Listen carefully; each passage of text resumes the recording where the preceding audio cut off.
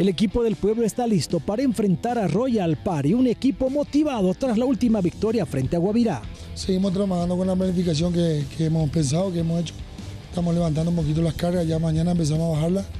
Mañana va a ser un entrenamiento de fútbol intenso entre nosotros, planificando la estructura, porque la semana que viene el jueves se juega y tenemos ya que acortar los tiempos, bajar las cargas, recuperar a los chicos que lleguen al 200% ya en Santa Cruz para poder traer los tres puntos, que es lo que vamos a buscar. Se siente fortalecido Roberto Pérez al recibir el apoyo de sus dirigidos.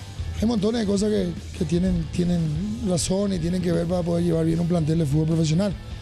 Ahora mañana nos toca acá, vamos a hacer cortar el pasto, eh, vamos a hacer fútbol, eh, ya empezar a pensar lo que va a ser el, el juego, un partido dificilísimo y esos tres puntos van a ser fundamentales para lo que estamos buscando, el objetivo mayor. Para el partido frente a Royal Party, la novedad sería el retorno de su capitán Luis René Barbosa a la defensa.